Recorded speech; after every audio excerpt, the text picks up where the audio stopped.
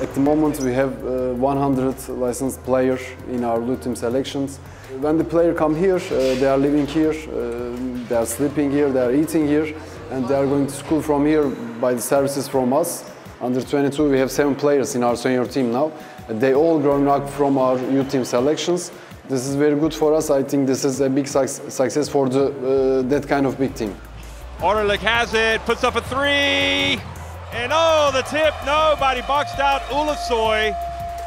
Yeah, we a lot of time spent on the, on the basketball practice. We a lot of time spent on fundamental skills. We think that in today in basketball, mental strength is, is very important, and uh, we must learn our players that uh, they must be calm in the head. They must have some hobby. They must have some hobby because they must have balance. It's not good if they all time think about basketball. It's changed my life. I have been here for four years, but some of the kids from in here, they have been here 10 years, more than 10 years. They come in here too little.